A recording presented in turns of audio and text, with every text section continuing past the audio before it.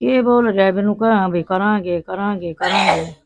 कर कुछ नहीं रहे भाई दोषी से उन्हें पकड़ लिया और उनका गोली मार दो। गऊ वर्गा बेटा था उसकी हत्या भाई पंचायत में फैसला हो गया था भाई ठीक से भाई उन्हें ढूंढ के भाई गोली मार दो।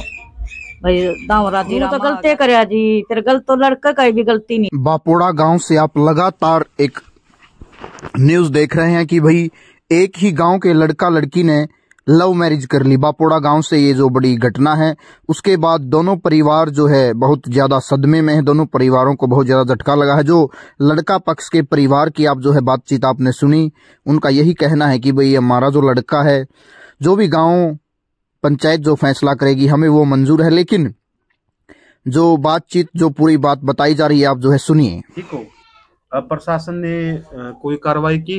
नहीं कोई नहीं करी से बोला कार्रवाई कोई कार्रवाई नहीं की नहीं करी से बोला कोई कार्रवाई अच्छा कितने दिन हो गए आज आपकी बेटे की मौत को देख लो तेईस तारीख की बात से आज कै दिन हो गए आज तेईस तारीख की बात है हाँ तेईस छह उनतीस मतलब हो गया दस एक दिन हो गए जो लव मैरिज करने वाला लड़का था वो भी बापोड़ा ही गाँव का था और जो लड़की थी एक ही गाँव के थे।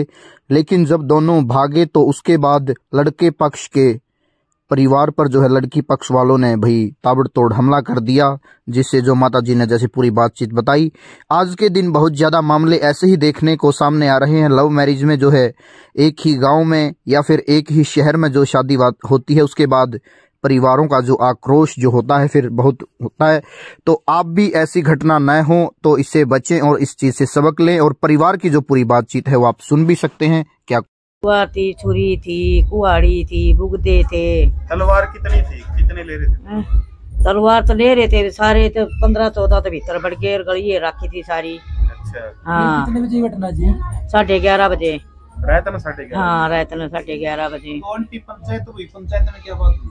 पंचायत में ताई जी का कहना है कि भाई आप देख सकते हैं कि पूरे परिवार में इस समय आक्रोश है और इनके परिवार में जो है जो लड़का लड़की को लेकर भागा है। उसके भाई की जो है दर्दनाक तरीके से काट करके हत्या की गई। ये पूरी घटना जो बापोड़ा गाँव की है इस समय जो है आप ये देख सकते हैं हमारे चैनल के माध्यम से।